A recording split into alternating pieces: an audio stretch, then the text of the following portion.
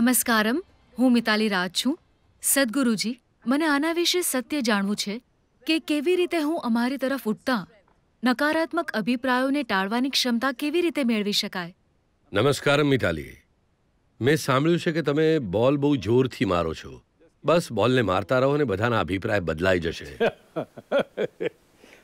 બધી વસ્તુઓ માટે લોકોના પોતાના અભિપ્રાય હોય છે, પણ તમારે કે બીજા કોઈને? પણ આનાથી ફરક કેમ પડવો જોઈએ?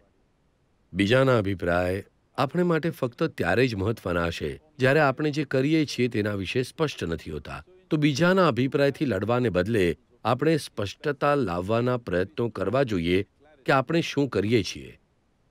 અને જે કરીએ છીએ તે કેમ કરીએ છીએ. જો આ સ્પષ્ટતા હશે તો બીજાના અભિપ્રાય મહત્વના નહીં રહે. તો શું લોકો આપણા વિશે અભિપ્રાય નહીં બનાવે? બનાવશે. એમને અભિપ્રાય બનાવવાનો હક છે.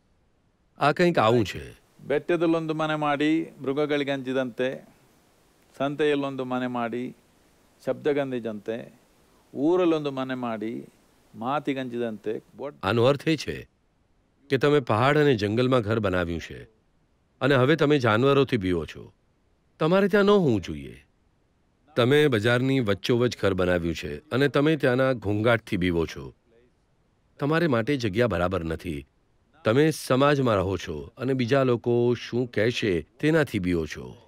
ના, આ સામાજિક જીવનનો એક ભાગ છે. કોઈ કંઈ ને કંઈ તો કહેતું જ રહેશે.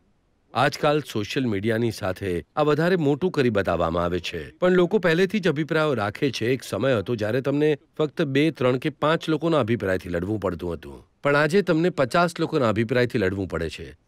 કારણ કે તેઓ પોતપોતાના અભિપ્રાયો જતાવી રહ્યા છે. આમાં કંઈ જ ખોટું નથી. તેઓ જે ઈચ્છે છે તે કરી શકે છે, પણ સૌથી મહત્વપૂર્ણ વસ્તુ એ છે કે તમારા જીવનમાં પૂરી સ્પષ્ટતા હોવી જોઈએ કે અમે શું કરીએ છીએ અને જે કરીએ છીએ તે કેમ કરીએ છીએ. જો આપણી સામે આ સ્પષ્ટ હશે, તો અભિપ્રાયો આવતા જ રહેશે અને બદલાતા રહેશે. તમે બસ બોલને સરસ રીતે મારો, તમે જોશો કે બધાના અભિપ્રાયો બદલાઈ ગયા છે.